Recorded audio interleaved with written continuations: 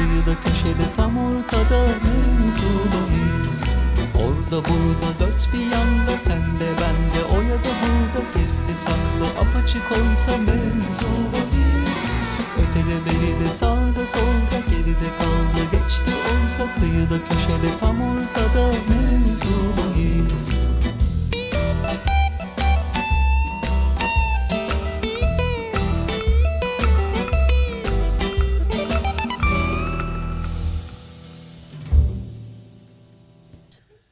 Efendim merhabalar. Teşekkür ederiz Zülfü sağ olasın. Bugün aslında istersen hani e, klasik Türk müziği ile alakalı çok önemli bir konumuz varken böyle bir versiyona girmek bilmiyorum hata mı oldu. Biraz sonra konumuza sorarız efendim. Değerli izleyenler hoş geldiniz.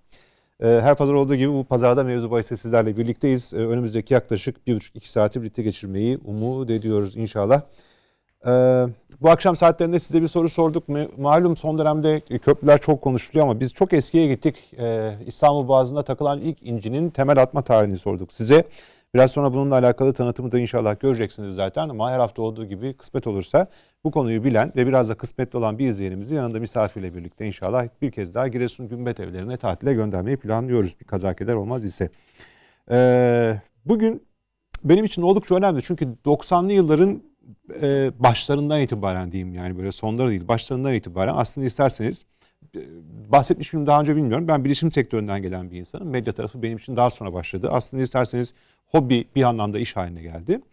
E, bilişim sektöründe beraber çalıştığım o dönemde e, Türkiye'nin en büyük ticari otomasyon yazılımlarının bir tanesinde e, kurucu ortak olarak göreve başlayan ve sonrasında da bizim onlarla birlikte çalıştığımız, e, sonrasında hayallerinin peşinden koşan ve bunu gerçekleştiren, realize eden, çok da güzel yapan bir insan sevgili e, Cengiz Onural bizimle beraber. Cengiz Bey hoş geldiniz.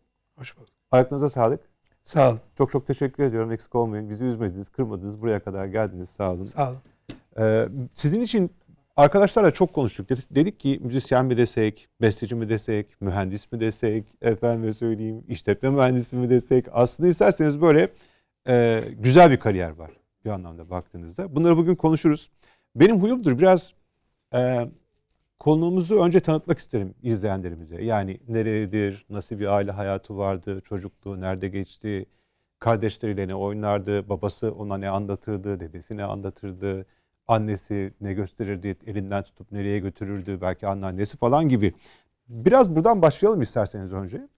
Ee, oraları konuşalım ki bu zengin kültürel altyapı, bu kadim medeniyetlere olan bağlılık, özlem, e, ve o oradan gelen tınıları yaşatma e, hissiyatı nereden doğuyor? Belki oradan bulur çıkartırız diye umut ediyorum yani. Memleket İstanbul biliyorum sizin. Evet. Aslen neresi? Aslen de İstanbul. Aslen de İstanbul. Kaç göbek gidiyor böyle?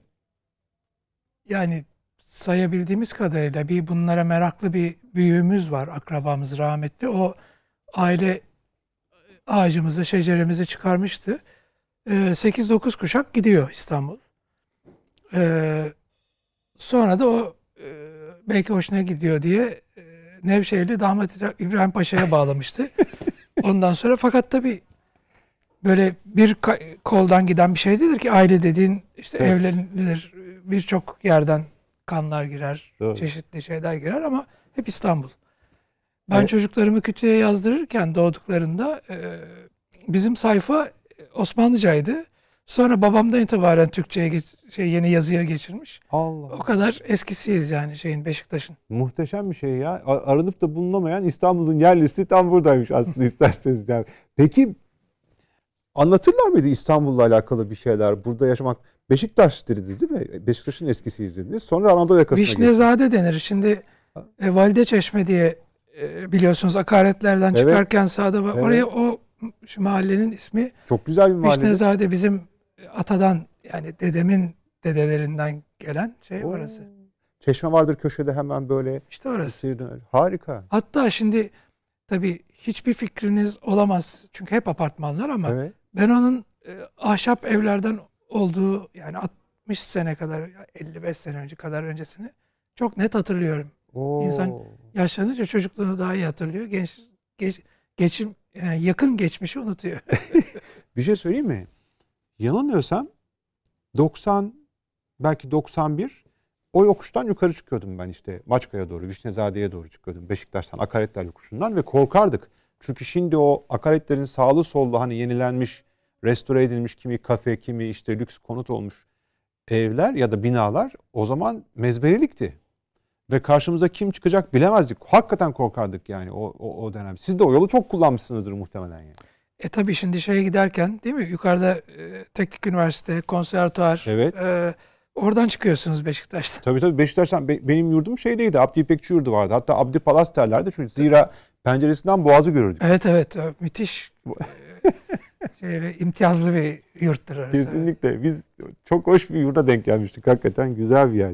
Harika bir şey ya. Peki e, kaç kardeştiniz? Biz üç kardeşiz. Üç kardeşsiniz. Şey anne baba ne iş yaparlardı? E, annem ev hanımı, e, babam e, mühendisti. E, 6 sene evvel ikisi de rahmetli oldu. Mekanları cennet E, amin. Babam mühendisti. Çok gezdi o. E, inşaat mühendisi olduğu için hep şantiyelerde şey yaptı.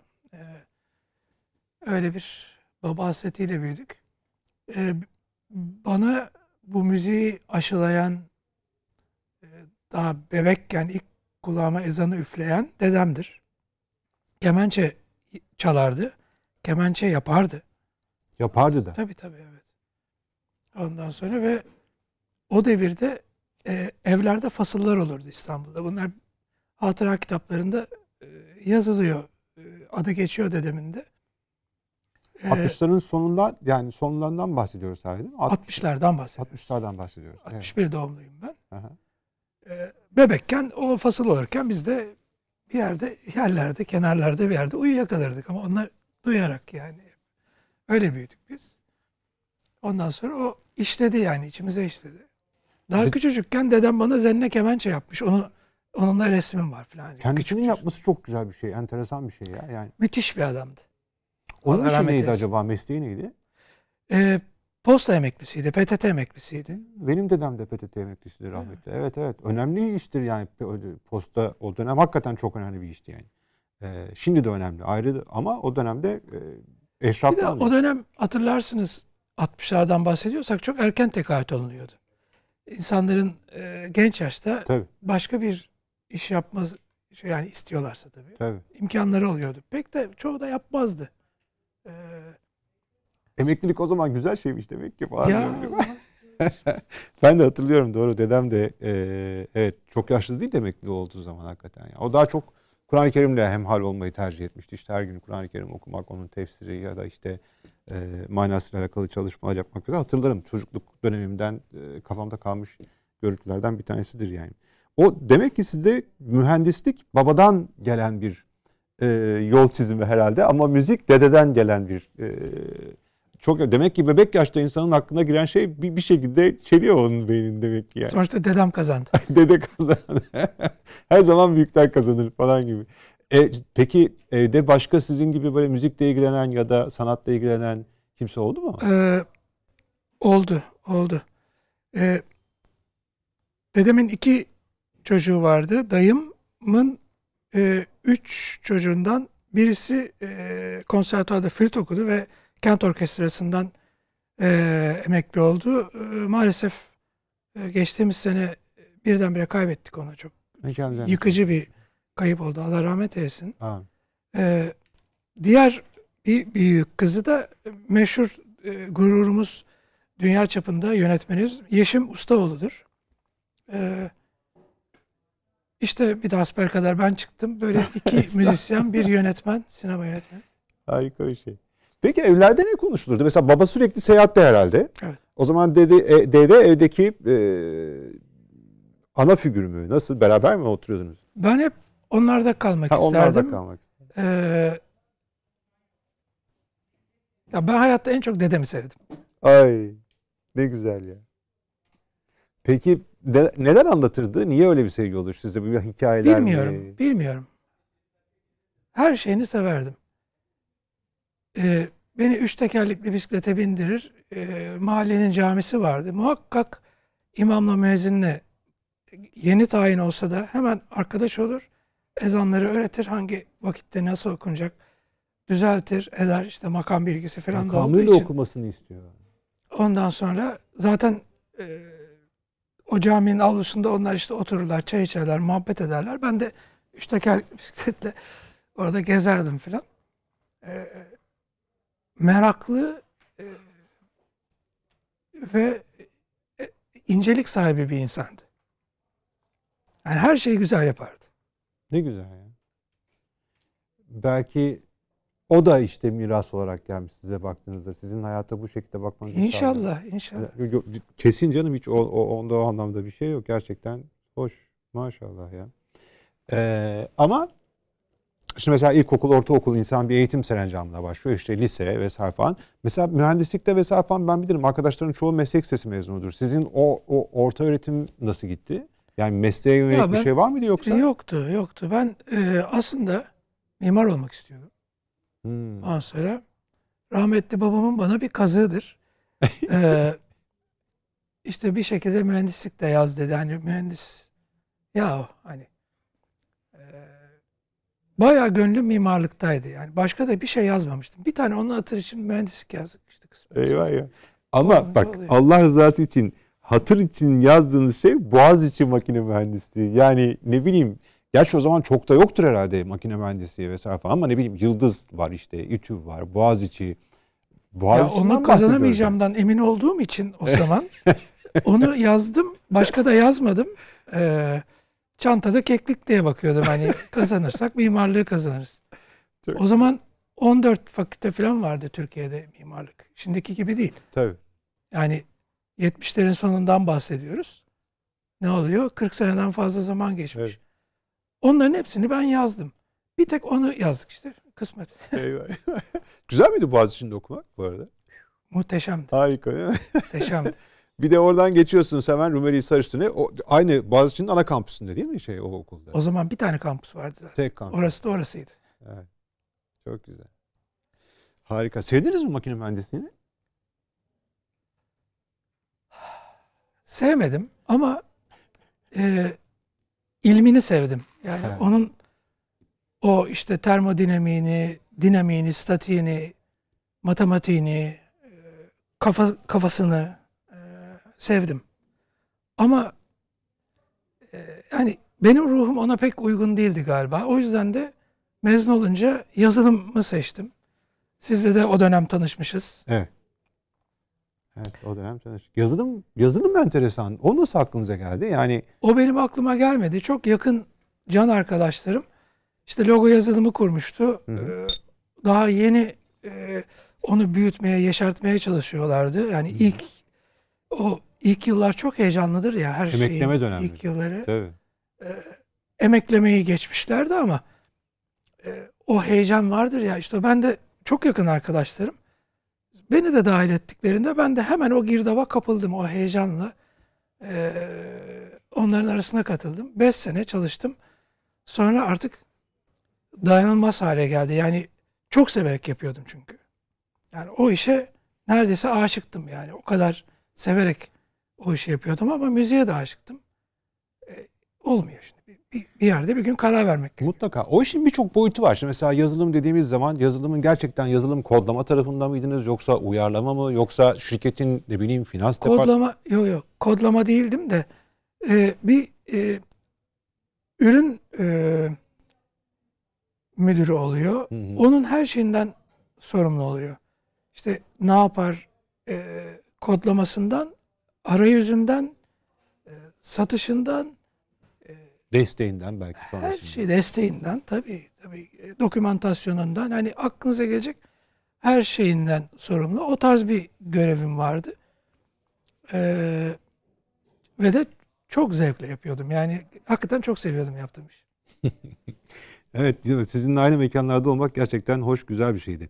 Ama eee, her ne kadar mühendislik ya da yazılım vesaire falan desek de nihayetinde e, müzik sizin hayatınızdan neredeyse hiçbir dönem çıkmamış. Yani hem dedenizle beraber daha çocukluk zamanında başlamasıyla birlikte Boğaziçi Üniversitesi'ndeyken herhalde ilk gittiğiniz yer müzik kulübü oldu Doğru. galiba. Doğru mu?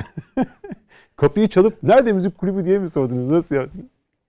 Çok tuhaf bir şekilde müzik kulübü varken Bir de Türk Müziği Kulübü kurmuşlar. Ee, En sevdiğim ondan sonra folklor kulübünün de müzikle ilgili bir bölümü vardı. Ben hemen üçüne de e, katıldığım gibi e, iki sene sonra falan da bu sefer BİO'nun yani Boğaziçi Üniversitesi oyuncuları e, tiyatro kulübünün de oyununun müziğini de yaptım. Yani hani müzikle ilgili ne varsa yani ma- ma- şeyden daha çok derslerden daha çok Askeriye gittiğinizde şey demişler. Müzikten anlayan var mı? Var. Diye çıktınız. Öyle bir şey oldu mu? yok. Olmadı. hani öyle oluyor. Gidersiniz işte. Şundan anlar ne mesela? Ziraat mühendisi var mı? Var. Buradayım. Tamam gel o zaman şuradaki otları yol falan gibi şeyler çıkar insanın karşısına olabilir yani. Ya da şunları yetiştir. Çiçeklerden sen sorumlusun. Zülfü. Bilmiyorum. Gittiğinde direkt sen yapmadın daha değil mi? Zülfü bu arada. Senin daha şey eğitim devam ediyor. Akademi devam ediyor senin de. Hala devam ediyor. Akademi devam ediyor. Gittiğin zaman e, herhalde direkt askeri gazino falan filan değil mi? Siz e, nerede yok yok ben yedek subay olarak yaptım ve bir fiil e, orada da mühendislik yaptırdılar. Oo, o iç içe geçmiş sizin mühendislik müzik hakikaten iç içe geçmiş yani çok güzel. Abi enteresan bir şey ama şimdi mühendislik, matematik falan e, çok böyle sayılarla ilgili 2 artı 2 4'tür. İşte nettir her şey, ortadadır yani. Hani bir, bir yan e, sonucu olamaz bir şeyin. Ama müzik, sanat, duygu öyle değil. Bambaşka bir şey yani. İkisi arasında geçişi nasıl yapıyorsunuz? Bu çok zor bir şey değil mi ya? Ama şimdi hani ben alaylıyım o kadar iyi bilmem ama e, eğitimli kardeşlerimiz var burada. Onlar çok daha iyi bilir. E, müziğin kuvvetli bir matematik tarafı da vardır. Hmm. E, gerçekten nazariyatı, armonisi, e, ses sistemleri bunlar hep matematikle ilgilidir. E, biraz matematik kafanız varsa daha ya- daha sıcak olur yani daha kolay adapte olursunuz. Hmm. Bak bu tarafını hiç düşünmemiştim ya. Evet, güzel. Peki. Müzik kulübünde kimler vardı Boğaziçi'nde? Birlikte e, çalıştınız kere- mı diyeyim, eğlendiğiniz mi Bir diyeyim? kere beraber girdiğimiz sınıf arkadaşım ve şükürler olsun ki hala da hem ortağım hem can arkadaşım hem de artık hayat arkadaşım gibi çok yakınım, canciğer arkadaşım Bora Ebeoğlu var. Ee, hepinizin tanıdığı Oya Bora ikilisinden de tanıyorsunuz. evet, Bora evet. Ebeoğlu olarak da tanıyorsunuz. Ee, çok değerli bir bestekar, söz yazarı. Ee, e, tabii çok kuvvetli bir ses sanatçısı aynı zamanda. Ve biz onunla hep beraber büyüdük, beraber yol aldık. Hala da beraberiz. İnce Saz'da da beraberiz. Evet. E, film müzikleri de yapıyoruz beraber. Oyun müzikleri, tiyatro oyunları, e, dokümenterler, işte belgesel müzikleri. Ya onunla devam ediyoruz. İyi ki de yapmışsınız ya. Ben şöyle bir bakıyorum gerçekten muhteşem işlere imza atmışsınız. Bir de ayırmışsınız da hani e, mesela bir Arya var, bir İnce Saz, var. E, Arya daha çok film, dizi, belgesel müzikleri alanında e, yürüyen bir iş. İnce Saz daha mü- müzik, e, albüm tabanlı e, işlerde e, gitmiş. Öncesinde Yeni Türkü var. Yani baktığınızda işte hepimiz birçoğumuz diyeyim yani benim yaş grubundaki insanlar benden daha gençler vesaire falan o şarkılarla aşık olmuş, o şarkılarla hüzünlenmiş, o şarkılarla direnmiş, mücadele etmiş yani birçok şey, birçok duygu onlarla yaşanmış. Onun için iyi ki o matematiği çok güzel öğrenmişsiniz ya. Bu, bu, bu da hoş bir şey hakikaten ya. Gerçekten güzel. Peki e, şöyle yapalım. Ben biraz daha konuların detayına inmek istiyorum. Biraz da fotoğraflara falan da bakarız ama izninizle bir e, araya gidelim. E, aradan sonra tekrar devam edelim. Buyurun arkadaşlar.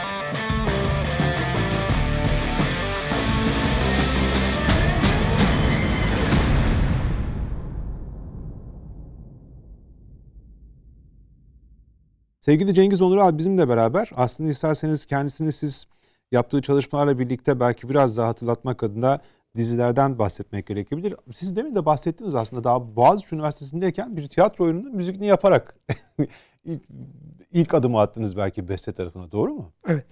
Bu, bu harika bir şey ya. Peki onu yaparken önce oyunu okuyor musunuz? Kim neyi oynuyor? Nasıl karakterler var? Öyle mi başlıyorsunuz işe? O işin yapı taşları nasıl gidiyor? Tabii ki e, özellikle tiyatrocular e, çok da titizlerdir. Çalışmalar bir sezon önceden başlar.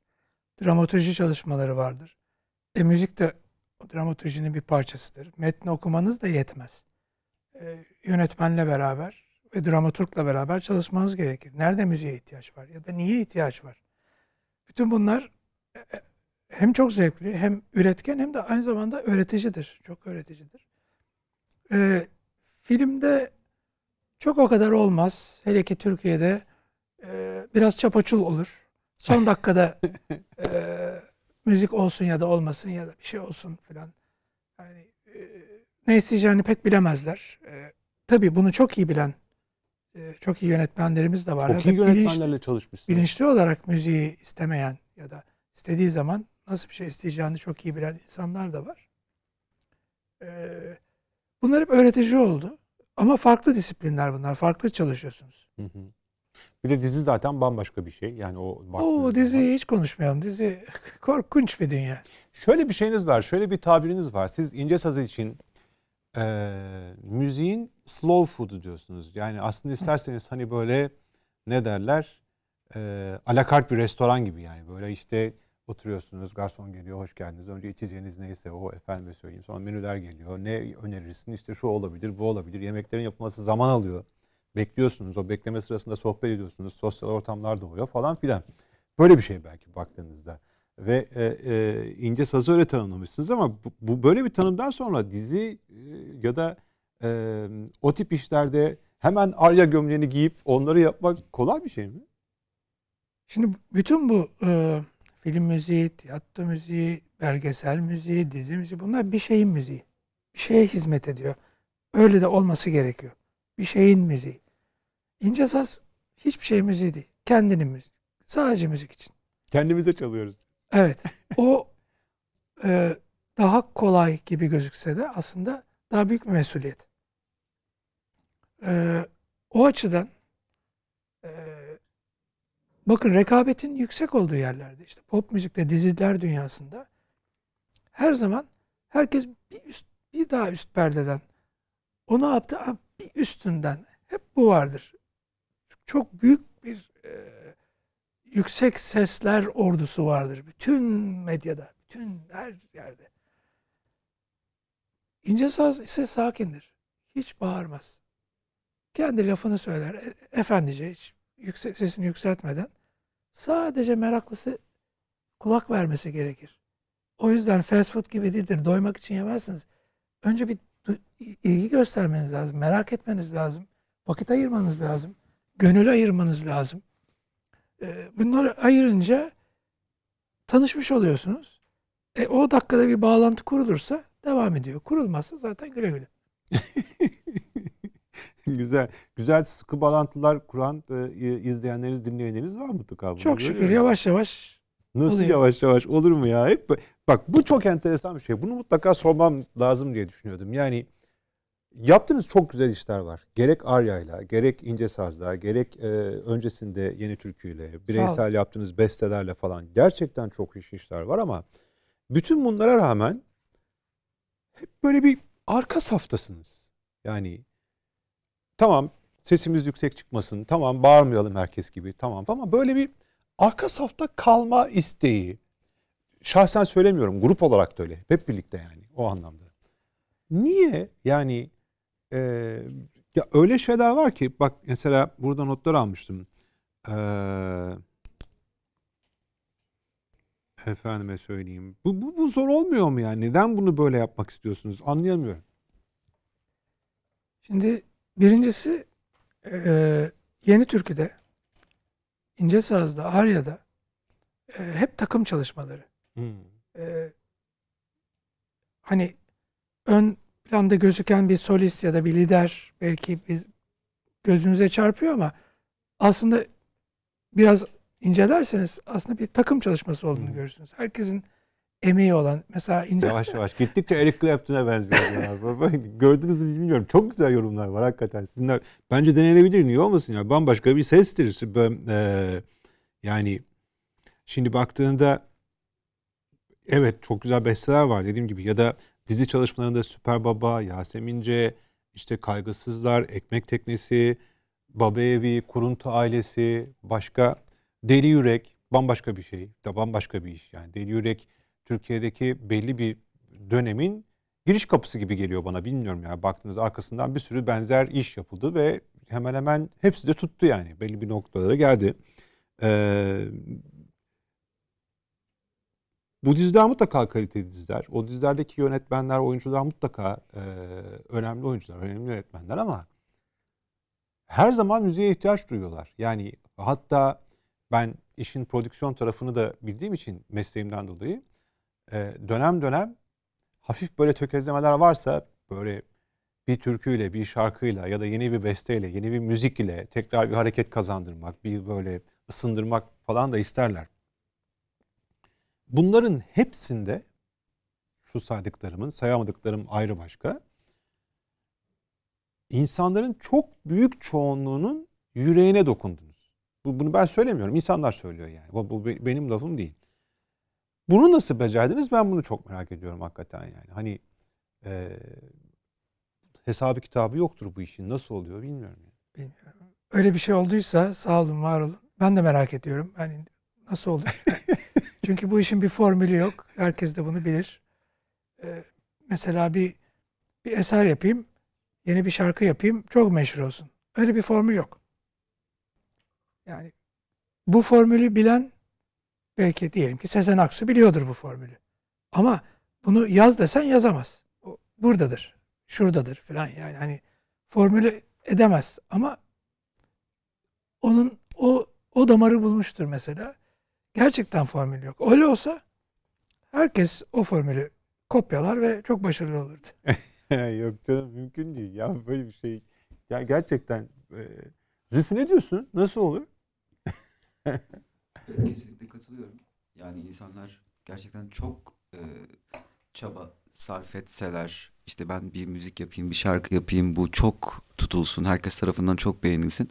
Bu kaygıyla yapılmadığı için şarkılar. e, Belki de anahtarı bu. Yani bak benim dikkatimi çeken e, Cengiz Bey hakikaten çok farklı toplum katmanlarından, çok farklı e, siyasi görüşe sahip, çok farklı sosyoekonomik gruptaki insanların birçoğunun birden gönlünü kazanan parçalar, dizileri o hale getiren. Mesela bir Süper Baba'nın parçası ne bileyim ya da e, İkinci Bahar'ın efendime söyleyeyim parçaları, e, Ekmek Teknesi'nin parçası. Arkadaşlar nelerden bahsettim belki bir hatırlatmakta fayda olur mu? Ne dersiniz Esma? E, mesela hani Ekmek Teknesi'nden bir parça girelim mi şöyle e, görüntülerden bir bakalım mı nedir? Belki üstüne e, arkadaşlar da Ekmek Teknesi'nin müziğinden bir şeyler tıngırdatabilirler. E, hem de bir görmüş olalım bakalım e, neyden bahsediyoruz bir hatırlatalım izleyenlerimize.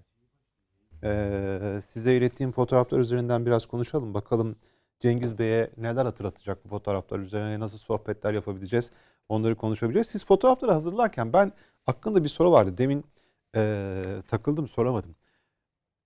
Üniversiteyle beraber başlayan müzik çalışmaları üniversite bittikten sonra sizin mühendislik yapmanızı engellemedi değil mi? Mühendis olarak çalışmaya başladınız bir taraftan. Ama dediniz ya böyle son geldiğim noktada artık öyle bir noktaya geldi ki bırakmak durumundaydım. O kararı aldığınız günü hatırlıyor musunuz? Nasıl bir andı? ne- Neyin üzerine o kararı aldınız? Yani tamam benim için artık mühendislik bitti. Artık hiç yapmıyorsunuz değil mi? Mühendislik. Yok. Ee, bayağı bir zamandır yapmıyorum. Peki ben Maalesef. artık bundan sonra hayatımı tamamen müzikten kazanacağım. Dediğiniz gün ya da akşam ya da sabah her an olabilir yani. Bu, bu tip kararlar öyle olur. O, anı tam hatırlamıyorum. Bu biraz şey gibi. Tam olarak uyandığınız anı, tam olarak uykuya daldığınız anı bilemezsiniz ya. Öyle bir Yani böyle Orada bir flu bir şey vardır. olur. Evet. buna benzer bir şey ama bu kafamda dönüyordu. Çünkü iki sevgili var Güzel. ve artık biz bir süre sonra birisine ihanet durumuna gelecek bu iş. İkisini de Ha. severek yapıyorsunuz iki işi de. Haksızlık olacak yani. Ama bir de bünyede hani sonuçta uyumanız da lazım, dinlenmeniz de lazım falan hani hani insanın da gençken biraz daha enerjisi oluyor ama bir bir süre sonra bir karar vermek lazım. Evli miydiniz o zaman? Tabii tabii. Çocuklar mıydı? Çocuklar. Ee, şöyle ben e, bana bir masal anlat babayı yazdığımda e, annesi Naza e, kızıma hamileydi. Ay. 90 e, 3 senesidir.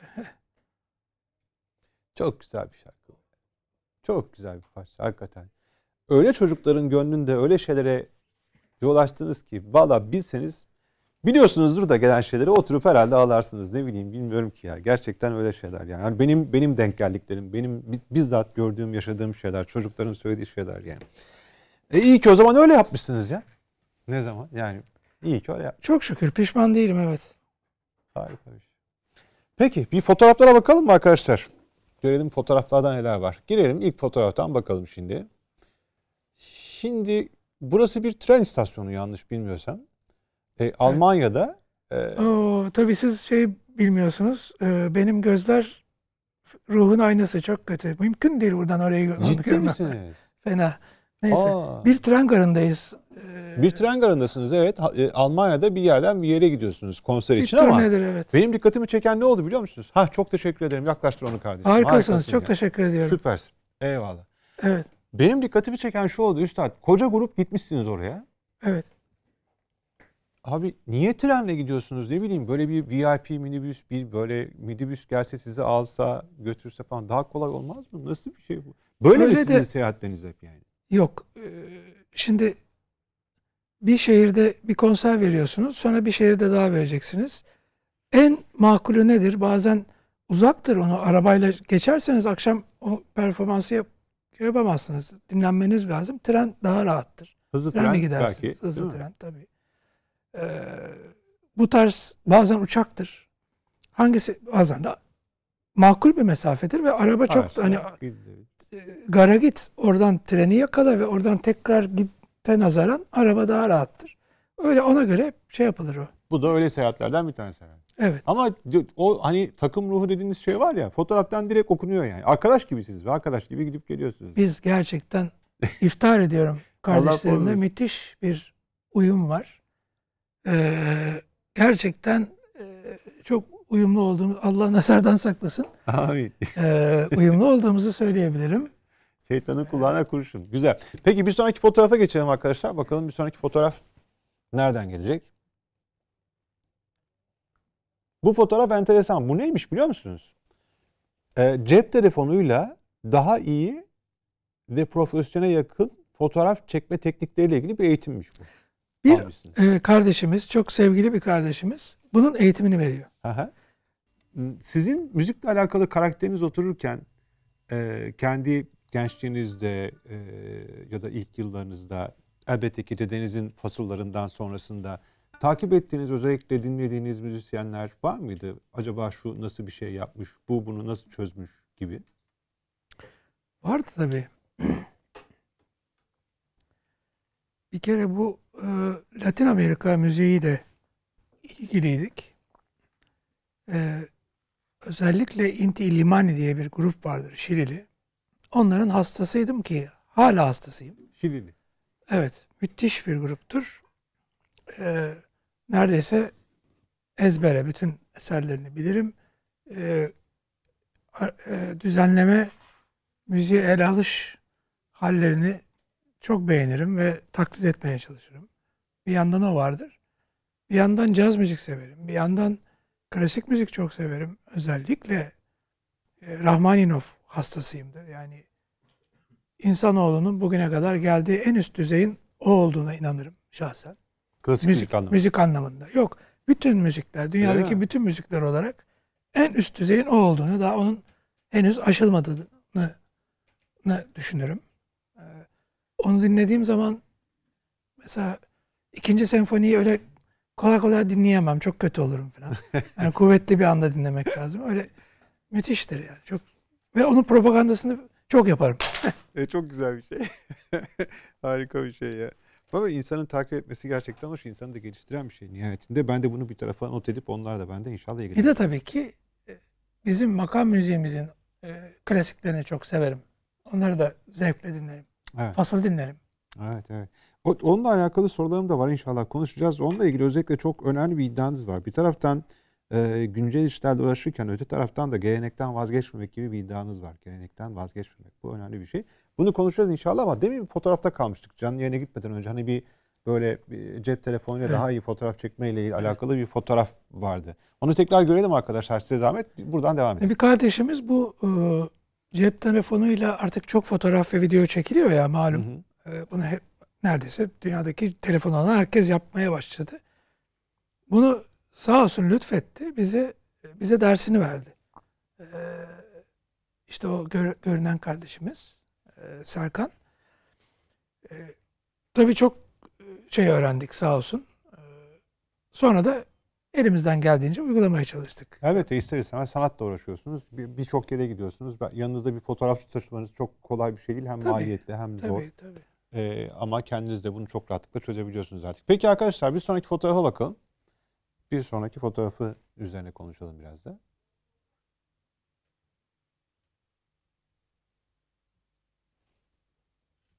Hatırlıyor musunuz? Yeteri kadar yakın mı acaba? Um, burası Yine bir turnenizden bir Evet. fotoğraf. burası şey mi acaba? E, Berlin Filarmoni'nin Evet. e, şey olabilir. Evet bu bizim için çok e, değerli bir anı. E, çünkü o hayran olduğum, çok dinlediğim ve acaba bir gün burayı görür müyüm dediğim Berlin Filarmoni'nin o meşhur modern binasında konser verdik. Onların e, üyelerinden bazılarıyla beraber. E, hem o hem de te- tesadüfen onların da provası vardı. Gittik onu da dinledik. Oo. Hayatımın en mutlu günlerinden bir tanesiydi. Gerçekten. Müthiş bir anıydı bizim için. Yani Berlin Filarmoni'nin olduğu yerde çalmak başka bir mutluluk. Onları hem de prova sırasında dinlemek, özel e, bir, bir şekilde dinlemek o da başka bir mutluluk. Belki de bir sonraki fotoğrafta bilmiyorum. Carnegie Hall'da da çünkü sizin konseriniz var. Evet o da tam pandemiden önce e, zannediyorum ne oluyor o zaman? E, 2019'un 2019'un 2020'nin başı. Kasım falan öyle bir şeyde e, Carnegie Hall'de konser verdik. O da unutulmaz bir anıydı bizim için. Yani hani soruyorlardı işte Carnegie ya ben oraya mektup bile atamam diyordum. Ondan Yok sonra gittik orada konser verdik. Ya bu aciz de aslında orada bir konser dinledi yani. Denk geldi New York'a gittiğimde Carnegie Hall'da ben de bir konser dinledim ama hakikaten bambaşka bir ambiyans yani. O, o onun içini e, Hıncal Uluç hep yazardı Carnegie Hall'da işte şu konseri dinledim, bunu dinledim falan. Benim de hoşuma giderdi yani. Keşke bir gidip gitsem, görsem, dinlesem bir konser diye. Denk geldi gittim. Bir de- Çok göz önünde bir yer. Ben de gitmiştim daha önce konsere orada. Ve aklım ucundan bile geçmezdi. Yani tabii ki insanın gönlünde bir yerde ya bu ince saz şuraya gelsin ne güzel olur falan. Bu vardır muhakkak ama hani onu cesaret edememişimdir. Bir şey diyeyim mi? Bir şey okudum yüreğime takıldı hakikaten böyle dokundu yani. İnce Saz açık havada daha konser vermedi mi? Harbiye açık havada. Yok vermedi. Bunu yapalım ya. Bunu yapalım inşallah yani. Harbi açık havada ince saz bence e, bir konser versin. Elimizden geleni yapalım inşallah onun için. Peki bir sonraki fotoğrafa bakalım mı arkadaşlar? İnce saz yani harbi açık hava ne ki canım ya onun iki katını çok rahatlıkla doldurabilecek bir şey bence. Şimdi bu da e, bir tane konser öncesi hazırladınız gene. E, benim hoşuma giden şu oldu. İşte ağaç altlarında, kenardaki banklarda falan oturup arkadaşça sohbetler ederken bir taraftan konseri bekliyorsunuz. Belki gelen geçen izleyiciler de sizi görüyordur. Öyle mi Cengiz Bey? Sohbet ediyor muydunuz? falan Yok böyle? çok şükür tanımazlar bizi. Yapmayın. Daha yapmayın. iyi. Gerçekten tanımazlar. Daha iyi yani tanımasınlar zaten. Yani müziğimizi bilsinler. Yani şahsen sizi bilmeden tanımalarını istemiyorsunuz. İstemem yani niye isteyeyim? Hiç şey yapan olmadı mı? Aa Cengiz Bey ya da Cengiz abi falan bir imza Çok alabilir miyim? nadir Ya bir olur. Fotoğraf. Çok, çok nadir olur. Hayatımda iki kere üç kere olmuştur evet. İnanamıyorum ya. Niye? Bence çok daha tanınır olmanız lazım bence. Bilmiyorum ya. O yüzden inanamıyorum. Yani. Keşke çok daha tanınmaz olsam. Görünmez adam olsam falan diyormuşsun. Gerçekten. Burcunuz ne sizin Cengiz Bey? Bu. Boğa. Bu burcun genel özelliklerine uyuyor mu? Anlamam ki. O işlerden anlamam hiç. Güzelmiş peki. Peki bir sonraki fotoğrafa geçelim arkadaşlar. Tanınmadan Türkiye sokaklarında yürüyebilmek istiyor. Ha işte New York'taki o konseriniz öncesinde. Evet, kardeşimin evi bu. Aha. Ee, orada kaldık. Sağ olsun bize e, Orada oturuyor. Ee, Brooklyn'de bir tipik o filmlerde gördüğümüz o sokaklardan bir tanesi böyle merdivenle çıkılır. Bazılarında merdivenle inilir. Evet. O yan yana evlerden birbirine benzer evlerden bir tanesi. Sağ olsun bizi hepimizi birden misafir etmişti. Süper. Ne güzel. Demek Ee, ki müthiş işte bir anıydı tabii o. bu toprakların şeyini özelliklerini kaybetmemiş orada yaşamakla birlikte. Misafirperverlik noktasında Tabii candır. Tabii. Bir sonraki fotoğrafı görelim arkadaşlar. Burayı hatırladınız mı? Asos. Aa, Ee, Sarnıç Butik Otel. Evet. Şimdi biz 5 senedir e, yazları müzik kampı yapıyoruz. Müzik Ve- kampı. Ve burada yapıyoruz. Sokak Ha. ağzında Sivrice'de. Asos'un iki yan koyu. Türk, Türkiye'nin sanki 1970'leri gibi o tatta. Kalmış mı öyle yerler? Evet öyle yerler ama hani son 5 sene falan yani öyle diyeyim. Ha. Hızla Gittiniz gördünüz diyorsunuz. Sonra. Biz orada bir e, makam kampı yapmaya başladık. E, çok değerli hocalarım e, Sühan İrdem ve e, Kaan Ulaş'la birlikte. Öyle bir teveccüh gördü ki 5 senede 14 tane kamp yaptık. E, ve giderek de hani önümüzdeki sene mesela 7 kamp var falan böyle bir e, Türkiye'nin yani kendi sazında sözünde ustaları işte gitarda Cenk Erdoğan, utta Yurdal Tokcan, e, işte halk müziğinde Cengiz Özkan falan. Bu, bu kardeşlerimiz, bu üstadlarımız orada hoca olarak kendi haftalarını yapacaklar. Biz de makam haftasına devam edeceğiz. Hı hı. Çok sevmeye başladık ve adeta bizim şeyimiz oldu orası. İkinci adresimiz gibi bir şey oldu. Üsküdar'daki e, kayıt stüdyosundan sonra. Orası bitti zaten. Bir beş sene önce falan orayı kaybettik. Ha. Ee, hani bu kentsel dönüşüm denilen hikayeden dolayı. Ben de artık yaşım gereği bir kere daha bir stüdyo kurmak istemedim Hı hı. sonra. Ee, orası da Asos işte. O harika bir yer. Yani dünya güzeli bir yer. Çok güzel. Burayı böyle belki bir süre siz de götürebilirsiniz diye düşünüyorum. Bilmiyorum ki yani hani işletmesinde vesaire falan belli mi olur yani? Sadece Ee, makam evet kampı öyle değil de- girişimlerimiz, isteklerimiz var. Çünkü e, bu makam kampları bir akademi ya da bir e, sempozyum gibi kravatlı ve e, bilimsel e, yayınla falan gitmiyor. Çok daha samimi e, oluyor. İnsanlar severek geliyor. Hatta orada tanışanlar, işte orada e, daha sonra birlikte müzik yapanlar falan Kimler oluyor. gelebiliyor?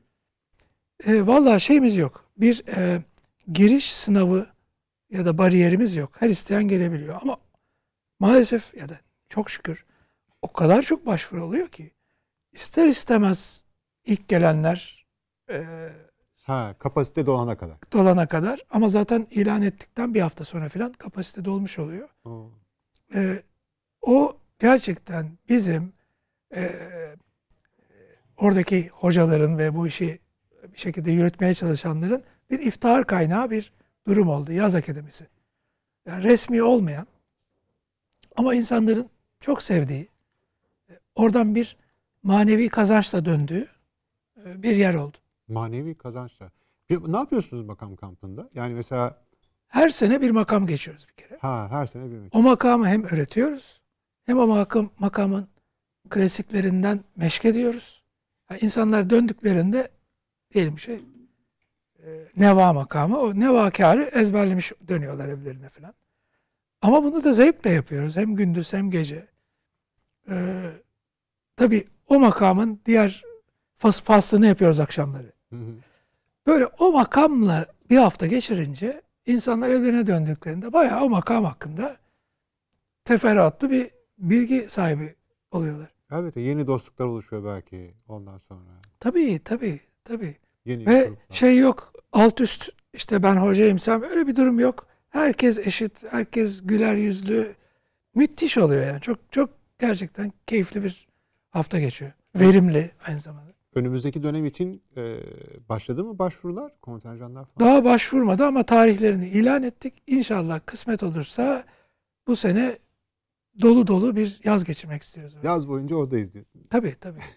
Çok güzel bir şey. Yolunuz düşerken düşerse belki biz de uğramak isteriz yani. Bu son fotoğrafımız açıkçası. Bir de biraz da Yo, Bu bir izleyenimiz atmış fotoğrafı. Bu arada size çok selamları var. Demin ben de BİP'te gördüm. Arkadaşlar almışlar, yayınlıyorlar. Bizi izliyormuş hani izleyenimiz. Ee, Cengiz Bey bizi çocukluğumuza götürür diyor. Hakikaten birçoğumuzun çocukluğunda yer eden e, eserler ve şarkılar bunlar açıkçası. Yani. Sağ olsun. Ee, Fotoğraflarımız bitti. Üzerinde konuşmak istediğim birkaç konu daha var ama bir, birazcık daha vaktimiz var ve yasal olarak gitmemiz gereken bir ara var. Ee, o araya bir gidelim. Tabii, Ardından tekrar e, geri dönelim inşallah.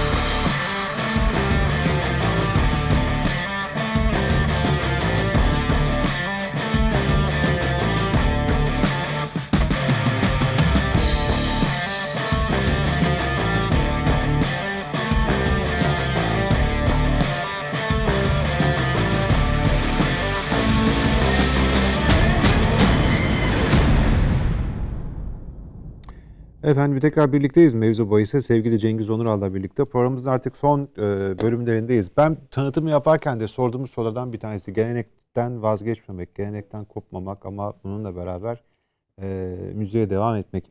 Na- nasıl bir iddia var orada? Neden gelenekten kopmamalıyız? Bunu ileriye taşımanın ne gibi faydaları olacak? Biraz onun üzerine konuşalım isterim Cengiz Bey. Bizim geleneğimizdeki müzik makam müziği. Yani hem halk müziği dediğimizin de geleneğinde o var. Ee, Şehirli müziğinin de geleneğinde o var. O makamları, o perdeleri yok ederseniz sıradan bir dünyadaki diğer müziklerden bir şeyimiz kalmayacak. Bir farkımız kalmayacak. O duyguyu, o müziği kaybetmememiz gerekiyor. Ki aslında kaybetmemek kaybetmekten daha kolay. Çünkü daha doğduğumuzdan itibaren o ezanlarla, o müziklerle, bunlarla büyüyoruz. He- Hep bunu duyuyoruz. Ama yine de e, biraz çaba gerektiren bir durum. E, halk arasında seviliyor da e, bizim derdimiz bir armoni ile beraber yapıyoruz. İnce Saz'ın öyle bir tarafı var. Bütün yaptığı müzikleri armoniyle yapıyor. Ama o armoniyi yaparken o makamları, o perdeleri, e, o sazlarını, o duruşlarını, işte kemansa keman, kemençe ise kemençe, kanunsa kan, sanki onu arp gibi değil, kendisi gibi, tamburu tambur gibi kullanıp hepsinin e, şeylerini, duruşlarını, tavırlarını koruyup ama üstüne bir de armoni ve düzenleme ekleyip yeni bir bakış açısı, taze bir sunum sağlamaya çalışmak. Bu bir iddia mı? Ee, belki bir iddiadır evet. Çünkü armoni ile e, bağdaşmadı hiç e, Türk müziği. Hiçbir zaman olmadı bu. Olduğu zaman ya makamlardan, perdelerden ödün verildi ya armoniden ödün verildi. Hı hı. İlk defa biz ikisini de e, ödünsüz kullanarak bir müzik yapmaya çalışıyoruz. Ama bence güzel sonuç alıyorsunuz baktığımız zaman ortaya İnşallah. çıkan şeylere. Yani kapalı gişe, konserler vesaire falan baktığınızda bu, bu güzel bir şey yani bana sorarsanız. Ee, 25 senedir emek veriyoruz. 25 yaşında. İnce Saz bu sene 25. yılını evet 25. yıl. e, kutluyor ve bu nedenle konserler e, de veriyoruz. Yeni bir albüm de çıkaracağız. Hatta bütün bu 25 yıl boyunca e, yayınladığımız bütün eserlerinde bir nota kitabını, külliyatını çıkartıyoruz. Harika bir albüm. Yayınlıyoruz. Ban 10. yayıncılıkta. albüm geliyor bir tane. 10. albüm geliyor. 10. o zaman. albüm geliyor evet. Ee, 25 senedir istikrarla, sevgiyle, inatla belki bir yolda gitmeye çalışıyoruz. Bilmiyorum artık. İnce Saz bize hayatın incelikleri mi göstermeye çalışıyor? Ya bak meseleyi böyle düşünürsen, şu ağaca şöyle bakarsan, bak bu çınar ağacı, belki işte 500 yıl önce ekildi buraya birisi tarafından. Hayalleri vardı. Aslında kediler dinlenirdi. Kuşlar dallarında dinlenirdi. Göç yollarında falan. Mesela böyle incelikleri mi anlatmaya çalışıyor? Ya da Evet ama güzel şeyleri tarif et diyorsunuz ama hep geçmişteki. Siz bile bu hatayı hepimiz yapıyoruz. Biz onu yapmamaya çalışıyoruz. Ee, İlla güzel şeyler geçmişte kalmadı. Bugün de güzel şeyler var. Sadece bir nebze bir sakin durup bir göz atmak gerekiyor. Hmm. Gözünle, kulağınla orada olabilmek, onun farkında olabilmek gerekiyor. Ne güzel yazmış. Çok değerli rahmetli ş- şairimiz Gülten Akın. Kimselerin vakti yok ince şeyleri durup görmeye. Ee, dursak illa geçmişte saklı değil onlar. Gelecekte de var. Bugün de var.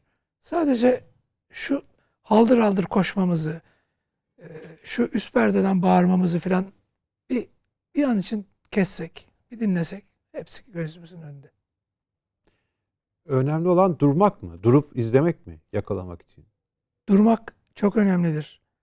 Bakın Yunanca'da da, Almanca'da da, İngilizce'de de durmak hep stand. Du- Duruş şey anlamak hep stand'dir. Understand. Evet. Hep durmakla ilgilidir. Anlamak, kavramak, farkında olmak. Ee, durmayı bilmek lazım. Yani biz de bu topraklarda yaşayan insanlar olarak çok kolay gaza geliyoruz ya. Böyle bir, bir birileri hemen bizi gaza getiriyor böyle. Anlamadan, dinlemeden vurup kırıp döküyoruz maalesef. Ee, eski Kültür Bakan yardımcımız vardı. Rahmetli Haluk Dur- Dursun, Doktor Haluk Dursun. Onun bir e, başına gelen bir hadise var. Belki de buradan buraya bağlanıyor. Şimdi e, yolculuklar daha çok konuşuyor aslında istersen. Çok fazla hoyratça yaşıyoruz hayatı hep beraber yani. Haluk Dursun Topkapı Sarayı'nda makamında otururken açık penceresinden bir kumru giriyor içeriye ve odadaki avizenin üzerine konuyor. Haluk Bey fark ediyor, sesini çıkarmıyor, hareket de etmiyor hayvan korkmasın diye. Çıkıyor, bir süre sonra iki kumru geliyor. Ve bakıyor ki onlar oraya yuva yapma niyetindeler. Sesini çıkarmıyor gene, az hareket ediyor vesaire falan filan.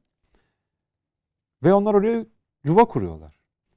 Haluk Bey de rahmetli sağ olsun şey yapıyor, odasını değiştiriyor. Onları oynatmaktansa yerinde. Daha küçük bir odada geçici olarak işte ne kadar sürecekse orada onların yuva işi.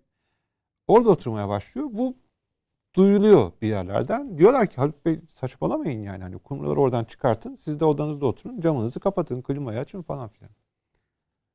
Diyor ki Haluk Bey ben o kumruları oradan almam. Almam. Alamam. Siz beni görevden alın diyor. İşte durup izleyen bir adam yani. İşte dedem böyle bir insandı. Rahmetli. Dedeniz öyle bir insan. Evet. Sonra Allah hayatımda Allah. bu kadar ince, bu kadar zarif, bu kadar merhametli, e, bilge, e, çok az insana rastladım onlara da hep dört elle sarılmaya çalıştım. Hayatı onlar öğretiyor aslında. Tabii, Nasıl tabii. yaşamamız gerektiğini. Tabii. Değil mi? Yani baktığında belki garip gelebilir şu an. Hani modern hayat tanımına ya da çağdaş hayat tanımı denilen şeye garip gelebilecek tipte insanlar ya da yaşayışta insanlar olabilir ama onların yanında insan belki daha net görebilir birçok şeyi. Daha farklı görebilir. Sürekli şu pompalanıyor. Sürekli. Sen çok değerlisin. Sen kendini şımart. Bir tanesin. Senden daha değerlisi yok. Sen tabii ki değerlisin. İnsan olarak değil mi? Bir, bir yara- Adem olarak Allah'ın bir yarattığı bir birey olarak tabii ki değerlisin. Ama etrafında bir evren var, bir dünya var. O da değerli. Bir tek sen değerli değilsin. Değil mi? Bunu kavramak için biraz düşünmek gerekiyor. O değerler bütününü hep birlikte oluşturuyoruz. Bir izleyenimiz demiş ki şey e, çok güzel okullarda mühendislik eğitimi almış işte Boğaziçi'nde makine mühendisliği, İTÜ'de işletme yüksek mühendisliği vesaire falan ama sonrasında müzikle alakalı bir akademik çalışma ya da bir öğrenim gördü mü diye sormuşlar. Yok ben sadece e, Boğaziçi'nde okurken bir sene e, rahmetli İhsan Özgen e, kabul etti beni derslerine. Bir sene onun dersine gittim. Kemençe dersine gittim. Hı hı. Tabii o dönemde aynı zamanda konservatuvara gitmiş gibi oldum. E, e, sadece o var hayatımda. Yani akademik olarak başka hiçbir şey yok. Enstrüman yapıyor musunuz? Yok ya. Yani çokça enstrüman çalıyorsunuz onu biliyorum. Yok ya- yapmıyorum yok. Yapmıyorsunuz. Çokça enstrüman da çalmıyorum. Doğrusu ben bir e, samimi konuşmak gerekirse bir enstrümantalist değilim. Daha çok tasarlamak için müziği, piyanoyu ya da gitarı kullanıyorum. Ama o o kadar iyi gitaristler, o kadar iyi mesela kemençeviler var. Ya ben çalıyorum diye iddia edemem yani. Ya çok mütevazısınız hakikaten. Yani sadece siz de Gerçekçi isterseniz. Hani bu e, hayat bir şekilde yollarınızı birleştirmiş o insanlarla birlikte yol yürüyorsunuz. O- onun da matematiği çok kolay bir matematik olmasa gerek. Yani insanlar o kadar uzun süre bir arada kalmıyorlar. Mesela gerek Yeni Türkü'de e, uzunca bir süre devam etmişsiniz. Ardından İnce Saz ve Arya onlar da çok uzun devam eden şeyler. 25 yıl diyorsunuz. Basit bir şey değil ve hepsi dostum, kardeşim, can yoldaşım, arkadaşım diyorsunuz yani. Bunun da bambaşka bir şey var mutlaka e, e, matematiği var. Nasıl sağlıyorsunuz bunu ve bu için emekliliği olacak mı nereye kadar gidecek bilmiyorum yani ne var kafanızda? Ya bir müzik tasarımcısı olarak e, emeklilik olmaz. Hani aklın aklın başında olduğu sürece, elim ayağım tuttuğu sürece yazarım yazmaya. Ama sahneye çıkıp çalmak herhalde bir müddet sonra onu bırakmak gerekecek. Ha. Sahneye çıkıp çalmak deyince aklıma şey geldi. Kimle konuşsam eee, sizin müziğinizle alakalı hep şey diyor. Onların müzikleri bizi hep bir yerlere götürüyor. Alıyor bizi olduğumuz yerden başka bir yere götürüyor. Bu çok güzel bir şey. Sizin müziğiniz sizi nerelere götürdü? Demin gördük mesela Berlin ya da New York vesaire falan. Ama Türkiye'de de çok yere gittiniz mutlaka. E, Gittiğiniz- Türkiye'nin hemen hemen her yerinde dolaştık tabii. Değil mi? E, konserler verdik. Ummadığımız e, kadar mutlu olduk. E, hani beklemiyorduk çünkü. E, bir salon dolusu ins- insan orada görmek ve onun dolu olduğunu görmek ve hadi dolu bir de şarkılarımızı hep beraber söyleyebiliyor olmak. Bizim konserlerimizde şarkılar hep beraber söylenir. Seyirci şey değildir. Pasif değildir. Yani şarkılarımıza katmak isteriz. Çünkü bu çok değerli bir şeydir. Birlikte şarkı söylemek e, insanoğlu için büyük bir törendir. Büyük bir Hele ritüeldir. sanatçı için. Yani hele sanatçı için. Sanatçı için bence herkes için. Herkes için. Ee, bu duygu yüce bir duygudur bana göre. Güzel bir duygudur. Evet. Ya bu bunu hep katmaya çalışıyoruz seyircimize ve bunu e, yaşadığımız zaman gittiğimiz herhangi bir şehirde çok mutlu oluyoruz. Harika, çok güzel. Ben, pek fazla süremiz kalmadı ama üzerine durmak istediğim bir iki konu daha var. İzninizle onları hemen şey yapayım. Şimdi eee Türk Hava Yolları'nın yıl dönümü için, 75. yıl dönümü için yanlış hatırlamıyorsam bir çalışma yapmışsınız. Yollardı yanlış hatırlamıyorsam. Albümün ismi Yollar. Kalan Müzik'ten, rahmetli Hasan Saat'ın firmasından çıkan ki o da sizin için çok önemli bir insan. Yanlış bilmiyorsam doğru mu? Öyle Kalan öyle Müzik öyle Hasan abi. tabii büyük bir kayıptır bizim için. O kadar çok insan için o kadar önemli bir insan ki gerçekten şu sektöre ciddi e, emek vermiş sağ olsun. Mekan cennet olsun inşallah. E, oradaki mesela bir parça dikkatimi çekti. Göç yolları diye bir parça var. Mesela hac yolları var efendim. Göç yollarında öyle bir şey ki sadece tek bir bölgeye odaklanmamışsınız gibi. Orta Doğu'da var orada, Ege'de var, Ermeni tınısı da var sanki, Türk tınısı da var, Karadeniz tınısı da var gibi hissettim ben. Yani mesela böyle bir iş çalışacağınız zaman masaya oturup hep beraber gruptaki arkadaşlarla şöyle anlatalım, şuradan şu hikayeyi koyalım, buradan bu tınılar olsun gibi mi yapıyorsunuz? Nasıl oluyor? Şimdi sözlü müzikte sözler bir miktar e, şey yapıyor. e, Konuyu sulandırıyor. Çünkü ele veriyorsunuz. Bir- şey laflar söylüyorsunuz. Onda Hı. bir karşılığı var. Sözsüz müzik daha yüksek bir anlatım, daha soyut bir anlatım. E, Ben müzik e, algılaması üzerine çok okudum. Müziğin algılanması, musical perception üzerine çok okudum. E, hala da okuyorum. E, o kadar basit değil. E, sizin müzikal olarak kastettiğiniz şeyi dinleyen illa öyle anlamıyor. Hmm. Hayat öyle olmuyor. Bu kadar basit değil. Herkes kendi kalbiyle, kendi birikimiyle, kendi formasyonuyla bir şeyler anlıyor. Bu da aslında e, bir handikap değil, bir zenginlik. Hiç sizin beklemediğiniz tarzda e, anlayan insanlar var mı? Olmaz mı? Olmaz mı? Neler neler. Ama bu hiç yüksünülecek bir şey değil dediğim gibi. Eyvallah. Mesela aynı albümde Haç e, Yolları isimli, Haç Yolculuğu isimli bir şey var, parça var. Dinledim. Sanki şeyden başlıyor. İşte yaşadığı yaşamdaki pişmanlıklar, yaptıkları işler, oradan sıkıntılar hisseden bir insanın iç hali gibi yavaş yavaş bir yolculuğa hazırlanıyor. Yolculuğa çıkıyor. Yolculukta işte hac için gittiği yere ulaşıyor.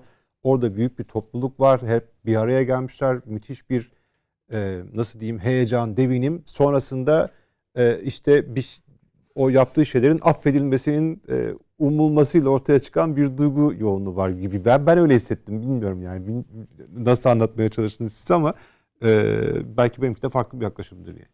O anlamda. Müziği kelimelerle anlatmak imkansıza yakın zordur.